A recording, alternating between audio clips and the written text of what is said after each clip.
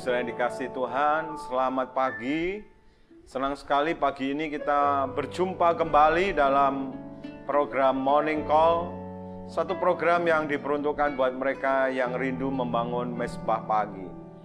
Nah, saya percaya pagi ini menjadi pagi yang luar biasa, pagi yang sejahtera, pagi yang mujizat ya, pagi yang penuh dengan berkat. Karena saya percaya, kita percaya di morning call ini Tuhan sudah menyiapkan berkat yang terbaik di atas mesbah kita. Nah mari Bapak Ibu, saya undang untuk sama-sama kita bangun mesbah kita.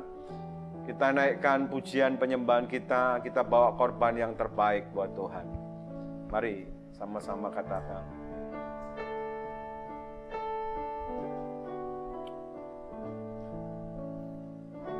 Saat ku menyembahmu. Rohmu bekerja. Saat ku memujimu. Kau bertata di atas pujian Ku angkat hatiku Ku pandang kekudusanmu Saat ku sembah Ku pujimu Ku rasakan kehadiranmu Tuhan Angkat hatiku. Ku pandang kekudusanmu. Saat ku sembah Ku pujimu Ku rasakan kehadiranmu Mari katakan dari awal saatku. Saatku menyembahmu. Rohmu bekerja. Saat ku memujimu Kau bertata di atas pujian Ku angkat hatiku yang Ku pandang kekudusanmu Saat ku sembah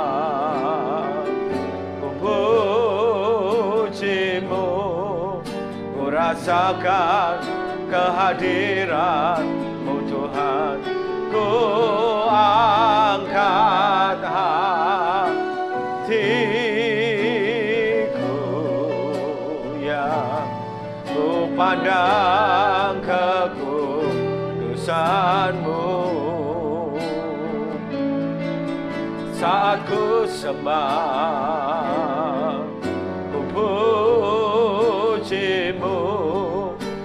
rasakan kehadiranmu Tuhan. Ku angkat hatiku yang Ku pandang kekudusanmu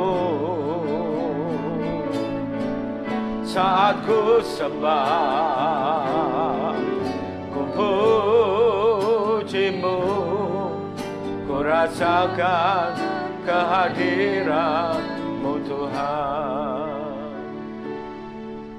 Mari kita sendiri katakan Ku angkat hatiku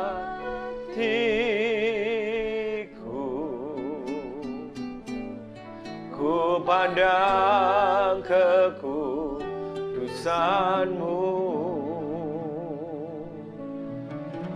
saat ku sembah ku pujimu ku rasakan kehadiranmu Tuhan.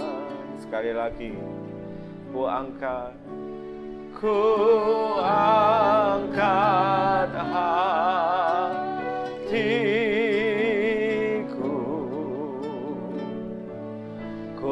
pandang kekusaanmu saat ku sembah ku pujimu ku rasakan kehadiranmu Tuhan. Ku rasakan kehadiranmu Tuhan Ku rasakan kehadiranmu Tuhan. Mari sembah Oh, sembah dia, sembah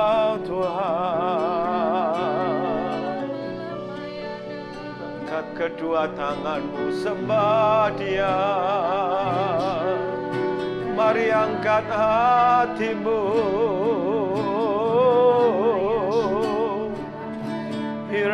Maya so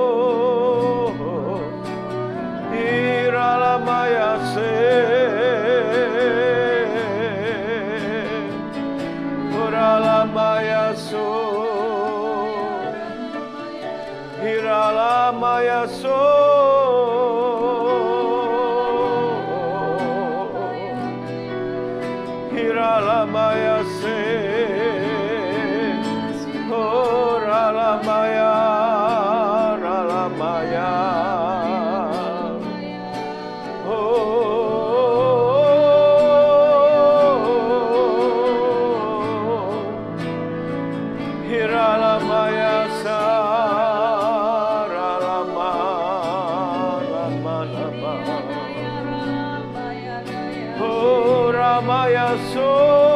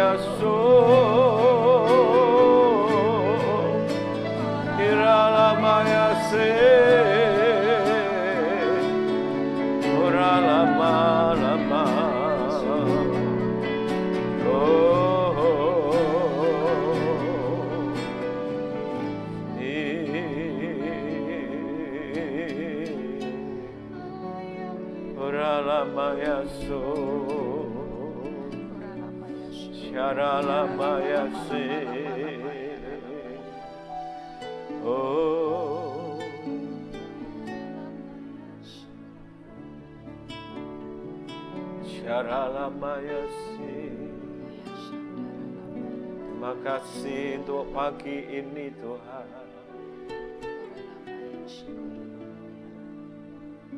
Kau berfirman dan sembuhkanku. Ya Kau bersabda dan selamatkanku. Tiada yang mustahil bagimu. Yesus ku percaya padamu. Kau berfirman, kau berfirman dan sembuhkanku. Kau bersabda dan selamatkanku Tiada yang mustahil bagimu. Yesusku percaya padamu. Sekali lagi kau berfirman Kau berfirman Dan sembuhkanku. Kau bersabda dan selamatkanku.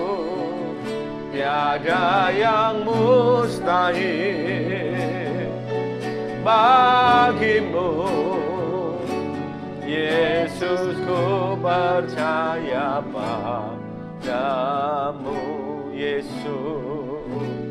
Yesus ku percaya padamu Yesusku percaya padamu.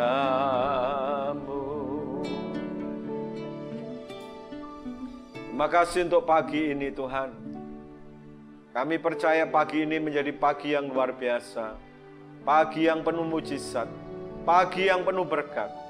Pagi yang penuh dengan terobosan. Karena kami percaya Engkau berfirman dan menyembuhkan kami Engkau bersabda dan menyelamatkan kami. Firmanmu itu adalah rema. Firmanmu adalah bahan untuk iman kami kepadamu. Terima kasih Tuhan. Masuk tahun 2021. Engkau berjanji tahun itu akan menjadi tahun pemulihan dan pengembalian oleh karena iman kami. Tuntun kami terus mengerti tentang iman. Malah pagi ini Tuhan, Engkau mengurapi setiap kami, mengurapi hambamu, kami hamba dan istri, juga setiap kami yang mengikuti program ini. Tuhan, Kau mengurapi kami, dan Kau menyatakan apa yang menjadi isi hatimu. Terima kasih Tuhan, terima kasih. Perdengarkan suaramu pagi ini, kami siap mendengarnya. Dalam nama Yesus, mari sama-sama katakan, amin.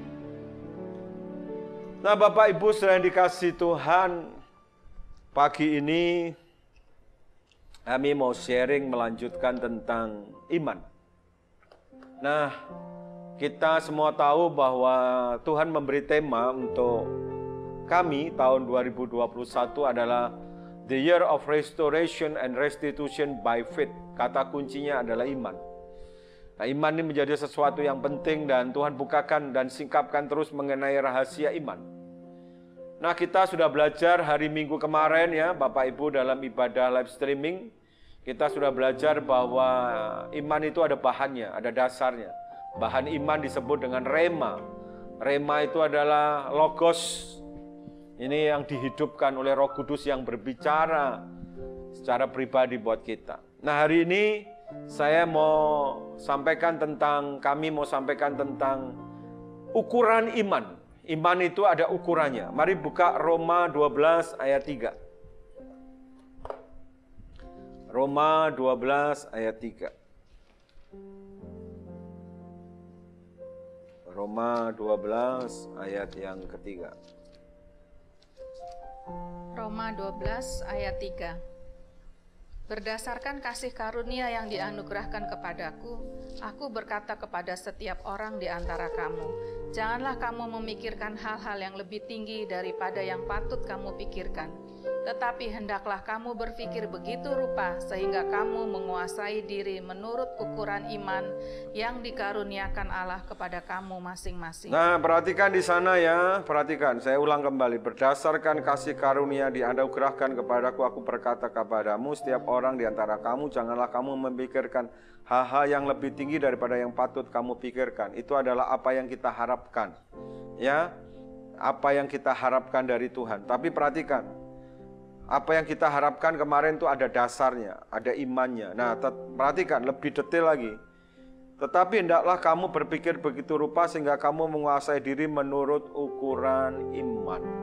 Jadi apa yang kita harapkan itu harus kita sesuaikan dengan ukuran iman kita. Ya, kalau kita mengharapkan sesuatu yang besar, mari kita lihat ukuran iman kita. Apakah iman kita ini besar? Ya, kalau kita mau mengharapkan sesuatu yang besar, iman kita mesti besar. Kalau iman kita kecil, nah, Jangan pernah berharap sesuatu yang besar. Nah, berbicara mengenai ukuran, perhatikan ya. Dalam bahasa Inggrisnya ditulis dengan kata measure of faith, ukuran iman. Nah, perhatikan Bapak Ibu apa yang saya bawa ini di depan ini adalah sebuah kotak. Apa itu ukuran? Nah, ini saya beri ilustrasi. Ini sebuah kotak. Nah, untuk mengetahui berapa volume dari kotak ini, berapa luas volumenya, berapa besar volumenya, maka kita mesti tahu ukuran daripada kotak ini. Nah, ukuran kotak ini adalah panjang ya, kali lebar kali tinggi. Maka kita akan menemukan ukuran luas volume daripada kotak ini.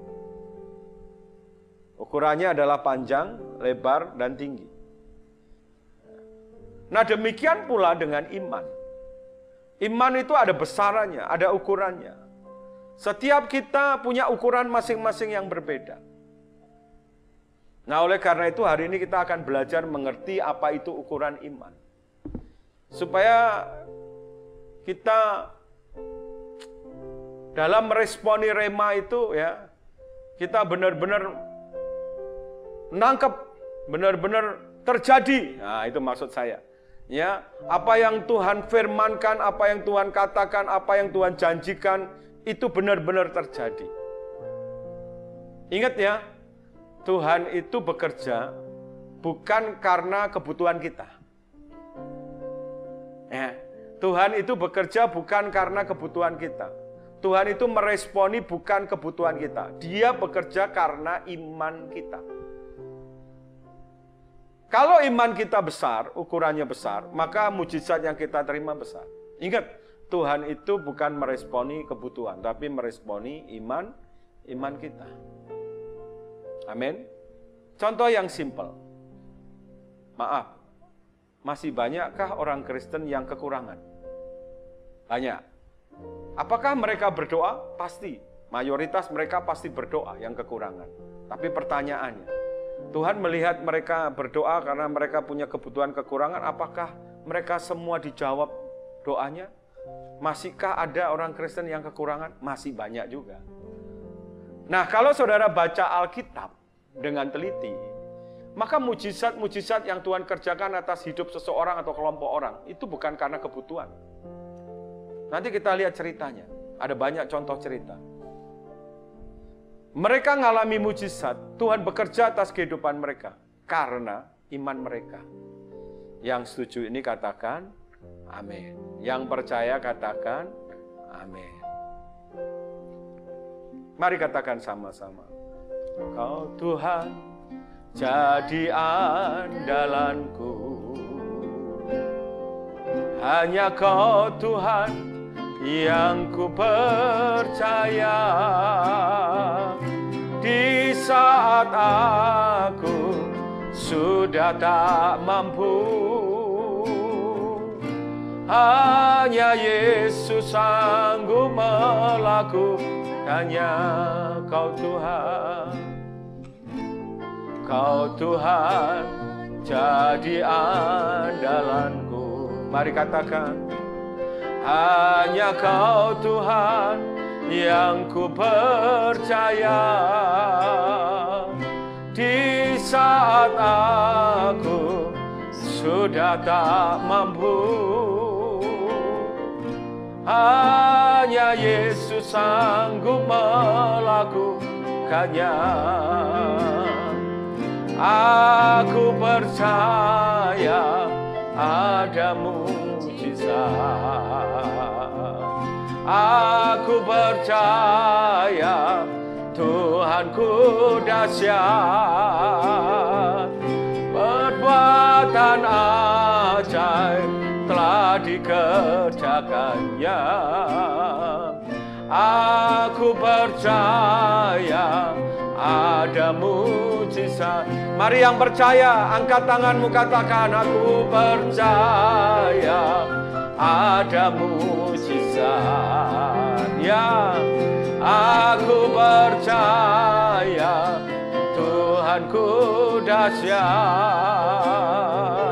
Perbuatan ajaib telah dikerjakannya. Aku percaya ada mujizat. Saudara, kalau kau mau ke depan ini Tuhan banyak melakukan mujizat dalam hidupmu Perhatikan imanmu Karena Tuhan itu merespon iman kita Bukan kebutuhan kita, iman kita Nah perhatikan secara lebih mendetil ukuran imanmu Nah untuk mengerti ini saya mau ajak saudara melihat satu cerita Ya, ada banyak cerita sebetulnya. Satu aja. Nah, saudara, satu cerita yang sering saya ungkapkan. Kisah seorang wanita janda di Sarfat. Mari kita buka. Untuk kita ngerti apa itu ukuran iman. Tadi kita sudah ngerti secara natural, secara alami, ukuran daripada kota ini panjang, lebar, dan tinggi. Nah, sekarang kita mau ngerti apa itu ukuran iman. Kita akan baca satu Raja-Raja pasal 17 ayat 9 sampai 16. Kisah yang sangat terkenal janda Sarfat. Ayat 9 sampai 16. Satu Raja-Raja 17. Satu Raja-Raja 17 ayat 9. Bersiaplah pergi ke Sarfat yang termasuk wilayah Sidon dan diamlah di sana. Ketahuilah aku telah memerintahkan seorang janda untuk memberi engkau makan Sesudah itu ia bersiap lalu pergi ke Sarfat. Setelah ia sampai di pintu gerbang kota itu, tampaklah di sana seorang janda sedang mengumpulkan kayu api. Ia berseru kepada perempuan itu katanya, "Cobalah ambil bagiku sedikit air dalam kendi supaya aku minum." Ketika perempuan itu pergi dan mengambilnya, ia berseru lagi, "Cobalah ambil juga bagiku sepotong roti." Perempuan itu menjawab, "Demi Tuhan Allahmu yang hidup, Sesungguhnya tidak ada roti padaku sedikit pun, kecuali segenggam tepung dalam tempayan dan sedikit minyak dalam buli-buli. Dan sekarang aku sedang mengumpulkan dua tiga potong kayu api, kemudian aku mau pulang dan mengolahnya bagiku dan bagi anakku. Dan setelah kami memakannya, maka kami akan mati. Tetapi Elia berkata kepadanya, Janganlah takut, pulanglah, buatlah seperti yang kau katakan tetapi buatlah lebih dahulu bagiku sepotong roti bundar kecil daripadanya, dan bawalah kepadaku. Kemudian barulah kau buat bagimu dan bagi anakmu. Sebab beginilah firman Tuhan Allah Israel, tepung dalam tempayan itu tidak akan habis, dan minyak dalam buli-buli itu pun tidak akan berkurang sampai pada waktu Tuhan memberi hujan ke atas muka bumi. Lalu pergilah perempuan itu dan berbuat seperti yang dikatakan Elia maka perempuan itu dan dia serta anak perempuan itu mendapat makan beberapa waktu lamanya. Tepung dalam tempayan itu tidak habis dan minyak dalam buli-buli itu tidak berkurang seperti firman Tuhan yang diucapkannya dengan perantaraan Elia. Ah, saudara perhatikan ya. Sebelumnya saya cerita sedikit bahwa Tuhan memerintahkan Elia untuk pergi ke Sarfat untuk memelihara Elia di sana. Karena sebelumnya Elia dipelihara Tuhan di tepi sungai Kerit. Ya, dengan cara waktu pagi dan petang burung gagak membawa roti dan daging. Nah, setelah itu terjadi ya Tuhan karena dosa daripada Israel maka Tuhan tidak mendatangkan hujan selama tiga setengah tahun. Terjadi kekeringan ras itu. Lalu firmannya datang kepada Elia disuruh ke Sarfat untuk dipelihara oleh seorang janda. Nah perhatikan saudara baik-baik. Tadi saya katakan Tuhan membuat mujizat atas janda di Sarfat bukan karena kebutuhannya. Bukan karena janda itu tidak punya minyak. Bukan karena janda itu cuma punya sedikit tepung, segenggam tepung dan sedikit minyak. Bukan. Tuhan membuat mujizat karena iman jadi janda Sarfat itu. Karena perhatikan tadi, kenapa dia Tuhan membuat mujizat? Karena iman. Nah kita perhatikan lebih detail. Iman itu adalah bahannya adalah rema. Ya, jadi Tuhan membuat mujizat dia memberikan rema terlebih dahulu lewat Elia supaya janda itu memberi membuatkan roti terlebih dahulu dari sedikit minyak dan segenggam tepung dan itu menjadi dasar ya itu menjadi dasar buat janda Sarfat itu untuk melakukannya. Nah, itu iman, iman daripada janda Sarfat itu. Ya, dia punya bahan yaitu firman yang datang kepadanya, dia tangkap itu, dia lakukan sehingga Tuhan melihat itu, Tuhan lakukan mujizat. Ya, saudara, nangkap ya. Jadi bukan karena kebutuhan. Tapi karena iman daripada janda Sarfat ini.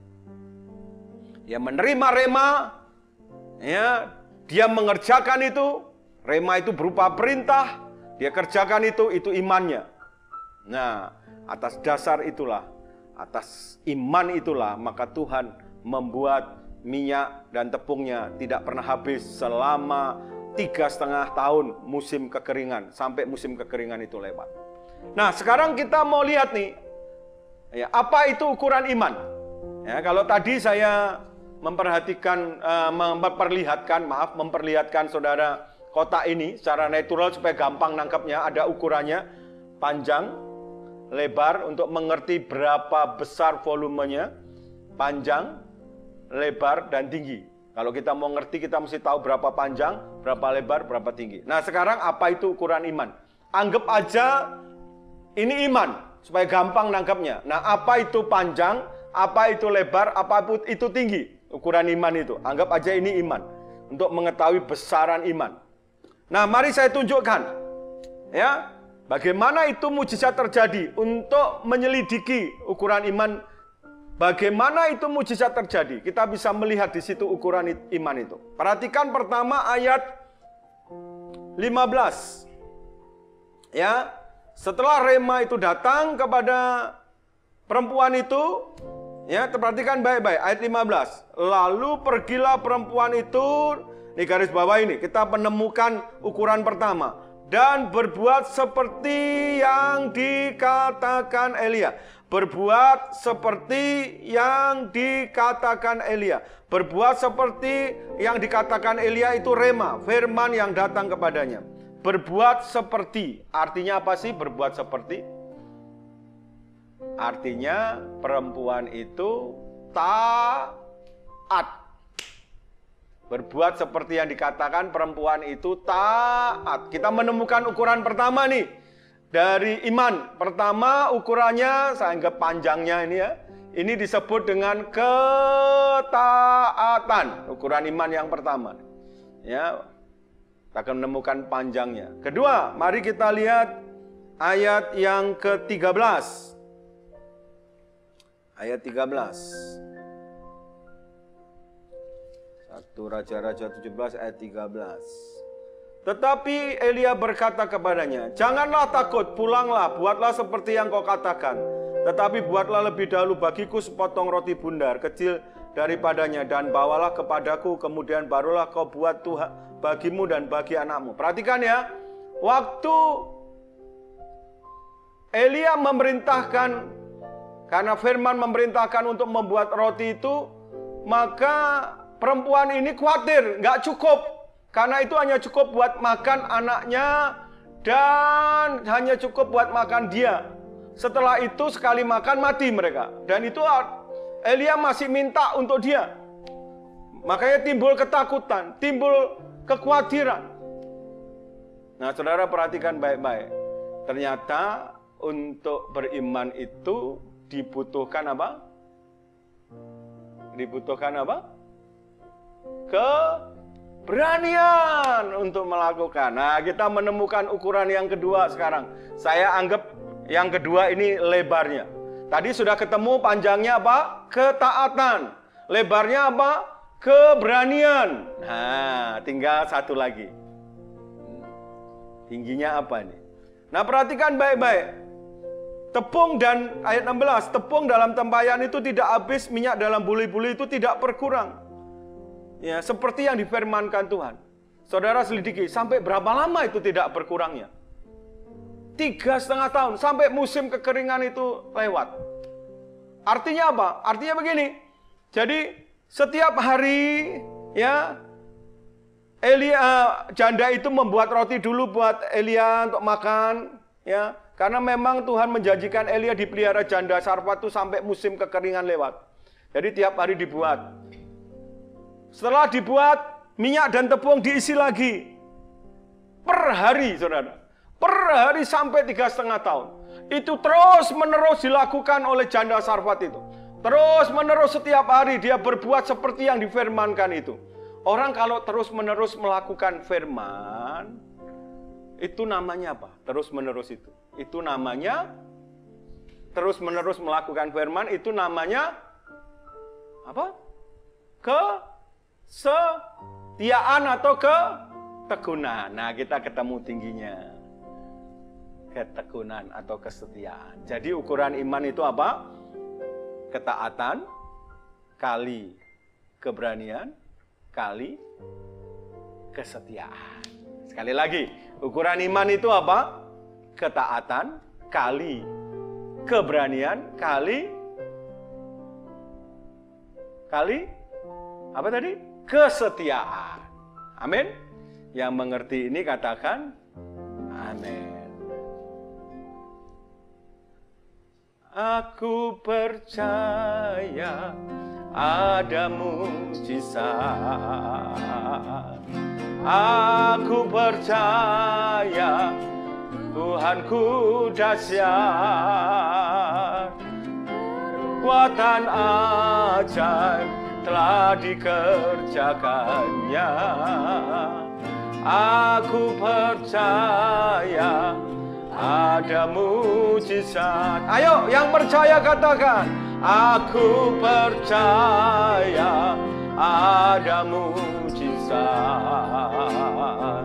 Aku percaya Tuhanku dahsyat Perbuatan ajaib telah dikerjakannya. Aku percaya ada mujizat. Nah, kalau kita sudah ketemu ukurannya, gampang untuk memperbesarnya, betul? Ya, kalau saudara mau memperbesar luas volume, kapasitas volume daripada kota ini gampang toh. Apa yang saudara harus lakukan? Perbesarlah panjangnya, perbesarlah lebarnya, perbesarlah tingginya. Kalau ini diperbesar, ini diperbesar, ini diperbesar, maka otomatis luasnya akan makin besar. Sama iman juga gitu.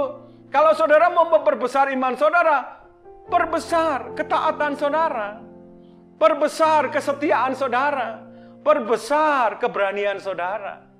Untuk mengikuti firman. Semakin saudara taat, semakin besar imanmu. Semakin saudara setia, semakin besar imanmu.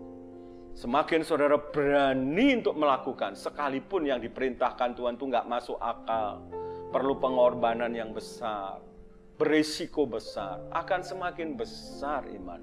Coba saudara lihat janda Sarfat ini. Perhatikan ya, sebelum saya tutup. Di ayat yang ke tujuh, uh, di ayat uh, satu Raja-Raja 17 tadi, di ayat yang ke coba perhatikan ayat yang ke 10. Waktu Elia Rema itu datang pertama kali kepada janda janda itu, bilangnya begini, cobalah ambil bagiku sedikit air dalam kendi supaya aku minum. Coba ya, perintah rema, perintah dari Tuhan lewat Elia untuk ngasih minum, apa yang terjadi? Ketika perempuan itu pergi mengambilnya, ia berseru, cobalah ambil juga bagiku sepotong. Perempuan itu pergi mengambilnya. Berarti imannya nyampe. Waktu perintah suruh kasih minum, nyampe. Tapi begitu yang kedua, rema yang kedua datang, disuruh buatkan roti, ukuran imannya nggak nyampe. Dia takut. Karena yang dia punya cuma segenggam tepung, sedikit minyak hanya untuk satu kali makan. Nah apa yang Tuhan lakukan? Tuhan perbesar ukuran iman dari janda sarfat ini. Caranya gimana? Nah, salah satu cara Tuhan memperbesar imannya, Tuhan memberi janji. Ya, ayat 14. Beginilah firman Tuhan, tepung dalam pempayan itu tidak akan habis dan minyak dalam buli-buli itu pun tidak akan berkurang sampai waktu Tuhan memberi hujan ke atas bumi. Ada kalanya Tuhan untuk memperbesar iman kita, ketaatan kita, keberanian kita, ya, kesetiaan kita. Dia memberi janji, kayak bapak itu suka kasih janji pada anaknya supaya anaknya itu punya semangat, punya ketaatan yang lebih lagi. Selain itu memang kondisinya sudah istilahnya nothing tulus. Cuma punya untuk satu kali makan, udah gitu, habis itu mati. Jadi janda itu mikir, ya. Kalau aku nggak ngasih nih, aku makan untuk aku aman, aku makan, mati. Ya, kalau aku kasih ke Elia, minimal ada apa ya istilahnya? Ada kans, ya, ada kans untuk aku tidak mati sampai musim kekeringan ini lewat, ya, karena ada janji tadi, saudara. Ya, wah kalau udah nyangkut nyawa, saudara, orang tuh biasanya nekat, apalagi kalau sudah terima satu janji. Sekalipun itu belum jadi kenyataan, tapi itu menimbulkan satu semangat keberanian untuk berbuat karena menyangkut soal nyawa dia dan anaknya. Nah itu kadang kalanya Tuhan begitu untuk mengekspan iman seseorang itu. Ya, dia memberi janji kepada kita. Amin saudara. Saya percaya kalau saudara bergaul dengan Tuhan setiap hari, ada banyak janji-janji yang dia pasti akan berikan buat saudara sebagai anak-anaknya. Itu tujuan utamanya supaya memperbesar ukuran iman. Ya. Nah, Saudara, mari kalau Saudara mengharapkan yang besar, perbesar ukuran imanmu. Perbesar ukuran ketaatan. Saudara juga bisa belajar setia dalam perkara kecil. Ya. Setia dalam perkara kecil. Mulailah belajar setia beribadah tiap minggu, Saudara ya. Beribadah tiap minggu. Ya. Saya udah ibadah, Pak Ibadah di mana? Online. Maaf saudara, saya beberapa teman hamba Tuhan mensurvey jemaat-jemaat yang online. Maafkan ya, dari 100 jemaat yang online sungguh-sungguh cuma 10 orang saudara. 90% itu kebanyakan tidak sungguh-sungguh online. Gitu. Ya mungkin sambil tidur-tiduran, sambil makan kacang kayak orang nonton bola, nggak punya sikap beribadah. Nah saudara kalau hal kecil aja kita nggak setia, bagaimana mungkin Tuhan percayakan hal besar? Ayo saudara belajar dari perkara-perkara yang sekecil yang Tuhan berikan, kita belajar untuk setia. Belajar untuk taat. Belajar untuk berani melakukan. Ya, waktu Tuhan mulai ajari kita berani menabur, mungkin jumlahnya nggak besar dulu, jumlah yang kecil. Mari mulai punya keberanian. Walaupun mungkin yang ada padamu pas-pasan. Tapi mari belajar, latih saudara. Ya, karena keberanian, ketaatan, ya saudara, kesetiaan itu karakter. Dan karakter itu bisa dilatih saudara, bisa dikembangkan. Kalau kita latih terus, kita latih terus, kita latih terus, kita latih terus. Maka lama-lama, ya kita akan makin hari, akan makin besar kapasitas dari karakter itu. Dan itu akan memperbesar kapasitas iman kita. Yang mengerti ini katakan amin. Aku percaya, tutup Alkitab saudara, mujizat. Aku percaya Tuhanku dahsyat, perbuatan ajaib telah dikerjakannya Aku percaya ada mujizat. Aku percaya, aku percaya ada mujizat. Aku percaya Tuhanku dahsyat. Perbuatan ajaib telah dikerjakannya. Aku percaya ada mujizat. Saudara kita akan berdoa hari ini. Kita sudah nangkap mengenai ukuran iman saya percaya saudara mendengar firman ini, saudara akan penuh keberanian menyongsong 2021. Mungkin sekeliling saudara mengecewakan saudara. Oleh karena itu hari ini berharap kepada Tuhan. Dia sanggup untuk melakukan perkara-perkara yang besar, yang ajaib dalam kehidupan kita. Saya percaya justru di tengah-tengah kondisi resesi ini, dia suka mendemonstrasikan kuasanya. Dan dia melakukan itu karena meresponi iman kita, bukan kebutuhan kita. Ayo saudara kita berdoa. Istri saya akan berdoa, perbesar, perbesar ukuran imanmu, masuk 2021, perbesar ketaatanmu, perbesar keberanianmu, perbesar kesetiaanmu, supaya ukuran imanmu makin besar. Ayo angkat kedua tanganmu, katakan sekali lagi, Aku percaya ada mujizat. Aku percaya Tuhanku dahsyat. Perbuatan ajaib telah dikerjakannya. Aku percaya ada mujizat. Hari yang percaya angkat kedua tanganmu. Aku percaya ada mujizat. Aku percaya Tuhanku dahsyat. Perbuatan ajaib telah dikerjakannya. Aku percaya ada mujizat. Sekali lagi yang kuat Aku percaya ada mujizat. Aku percaya Tuhanku dahsyat Perbuatan ajaib telah dikerjakannya. Aku percaya ada mujizat. Aku percaya ada mujizat. Aku percaya ada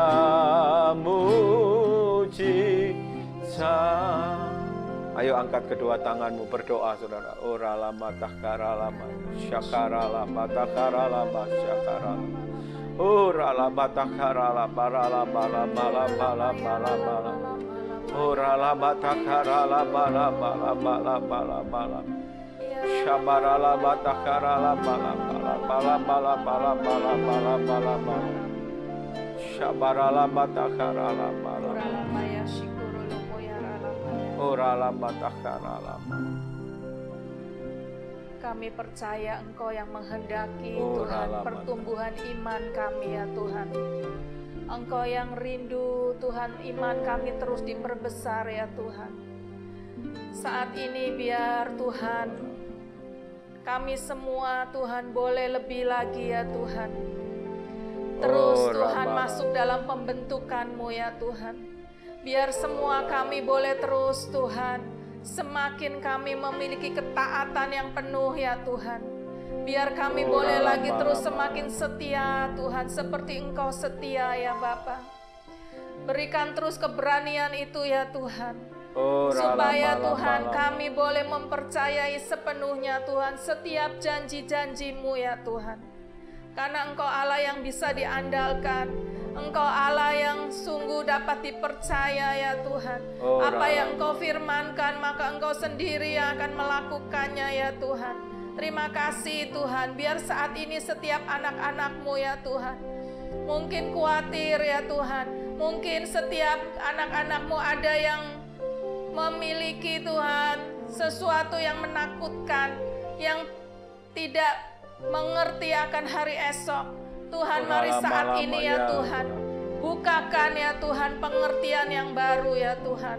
Engkau tanamkan kebenaran-kebenaranmu ya Tuhan atas hati anak-anakmu ya Tuhan.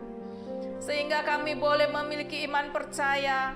Dari hari ke hari kami boleh memiliki kekuatan iman itu ya Tuhan. Kami boleh Tuhan memperoleh janjimu dengan kepercayaan kami kepadamu yang semakin hari bertambah-tambah ya Tuhan. Sehingga kami boleh memiliki pengalaman demi pengalaman ya Tuhan. Masuk dalam pengalaman demi ya. pengalaman bersama Engkau ya Tuhan. Sehingga kami Tuhan semakin kami boleh berjalan bersamamu Tuhan. Kami tidak menjadi khawatir sehingga kami boleh Tuhan mengalami penyertaan-Mu ya Tuhan. Kami boleh Tuhan mengalami Tuhan jalan-jalan yang terbuka di depan kami ya Tuhan. Kami boleh Tuhan melihat apa yang Engkau kerjakan yang ajaib itu Tuhan. Karena kami tahu Tuhan tanpa Engkau kami tidak mampu ya Tuhan. Semua yang mustahil dapat Engkau kerjakan, kami percaya itu ya Tuhan. Ya. Mari Tuhan, Engkau yang tolong setiap anak-anakmu ya Tuhan. Karena Engkau adalah harapan kami. Kami mau percaya lebih lagi ya Tuhan. Nyatakan Tuhan, nyatakan ya Bapak. Ya. Nyatakan Tuhan perkara-perkara yang daripadamu ya, Ya, Tuhan. Jalan keluar yang daripadamu ya Tuhan.